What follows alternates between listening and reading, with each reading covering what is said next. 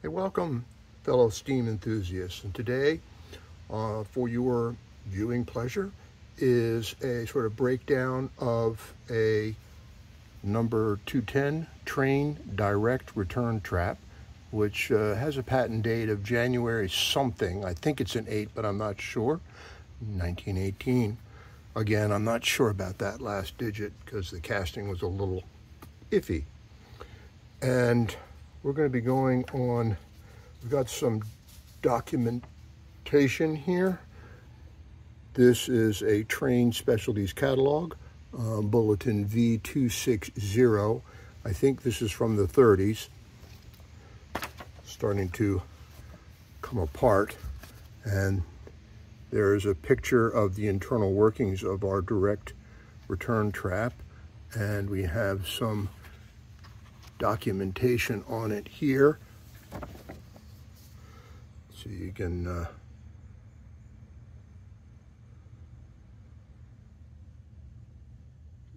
read the text for yourself. I'm not going to read it out for you. There is the mechanism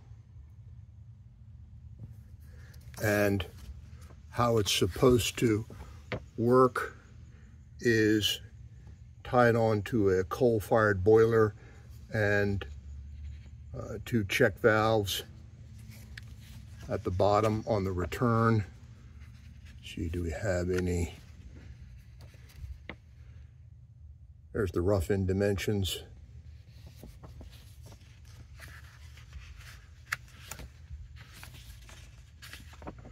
And it might have been installed, or return traps might have been installed in these various government buildings.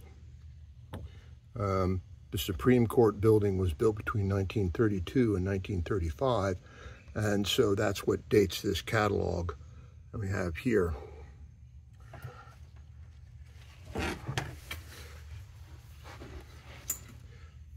So this side would have been connected to uh, just, just at the boiler steam supply side or vapor supply side and this would have been vented into the um, dry return, which would have been for the air or any steam to, to escape.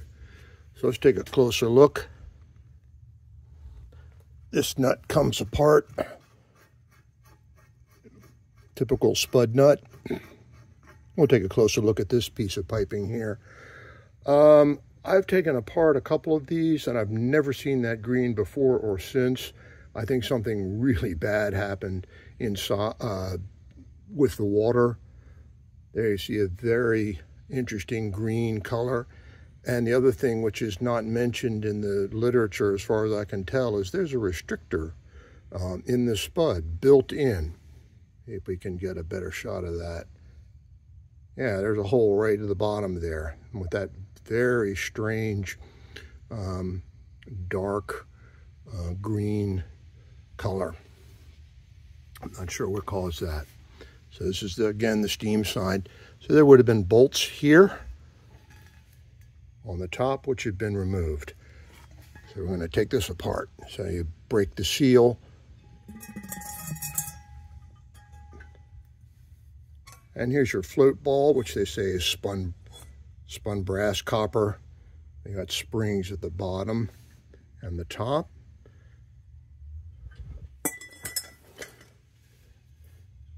Cast iron container.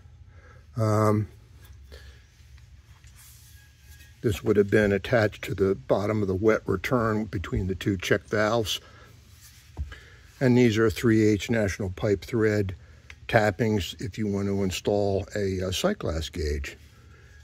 And I think that's the number 405, which I think is a casting number. I'm not sure. All right. Clunk. So let's take another close look at the mechanism here. Now this is where the steam entered. Now I had to chip away whatever that green stuff was. It was sort of a calcified, very odd color, and that's the um, the seal uh, preventing the steam from entering the the uh, re return trap. And here's a close-up of the mechanism. See if we can orient it as how it would be seen.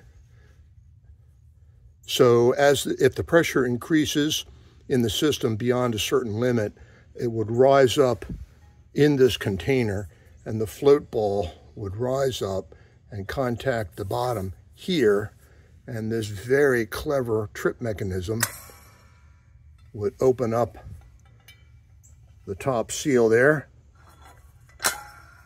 and as it drops it would close so there you see it opening letting the steam in equalizing the pressure and allowing the the water to return back to the boiler so this is essentially a condensate return pump driven by steam or vapor to um, allow the water to flow back into the boiler.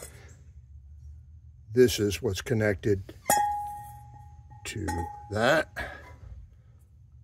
So this would rise up, let the steam in, and still, and the water would then drop. A water level would drop as it was being pumped into the boiler. And then this mechanism would allow the pressure to dissipate back into the uh, return until the thermostat was satisfied. Thank you very much for allowing me to show this to you. I hope this was uh, useful and um, another in the series of uh, uh steam heating oddities. And uh, I'll see you on the next one. Be well and stay safe.